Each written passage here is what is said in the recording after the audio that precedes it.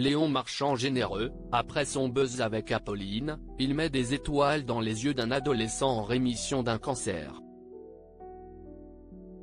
Le buzz a été lancé à la vitesse de l'éclair par un extrait vidéo de la matinale de TF1 relayé par le journaliste Paul Larouturou sur X, ex-Twitter.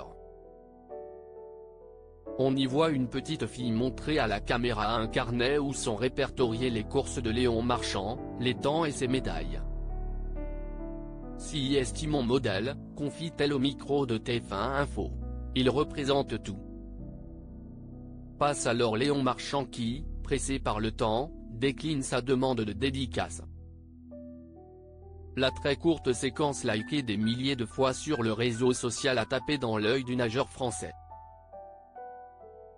Les gars, j'ai besoin de vous pour retrouver le contact de cette petite fille pour que je puisse lui faire un petit cadeau.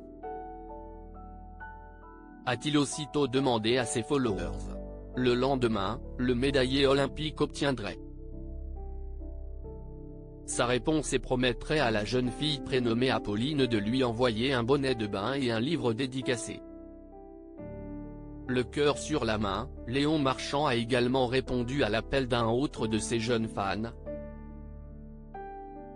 Lucas, 16 ans. L'adolescent en rémission d'un cancer a rencontré son idole au Club France.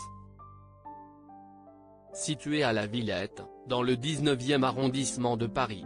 C'est le plus beau jour de ma vie confie-t-il à nos confrères de la dépêche après que le sportif lui a passé sa médaille d'or autour du cou. Cette rencontre privilégiée a été rendue possible grâce à l'association toulousaine Un maillot pour la vie, qui se consacre au soutien des enfants malades depuis 2000, avec l'appui de sportifs de renom. De personnalités, de bénévoles et de partenaires très impliqués, précise le quotidien. L'organisation caritative a permis au total à 50 enfants malades de vivre au plus près les épreuves des JO 2024. Nouvelle idole de jeunes, Léon Marchand est devenu un modèle dans sa discipline.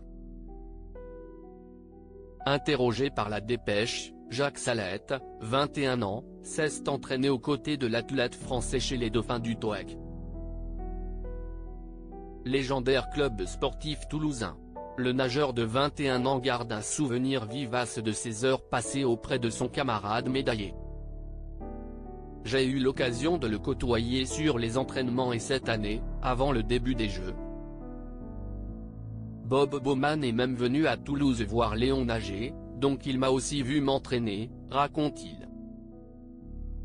À Toulouse, j'essaie de regarder Léon nager, d'apprendre à ses côtés et c'est génial, car on parle quand même du meilleur nageur de la planète.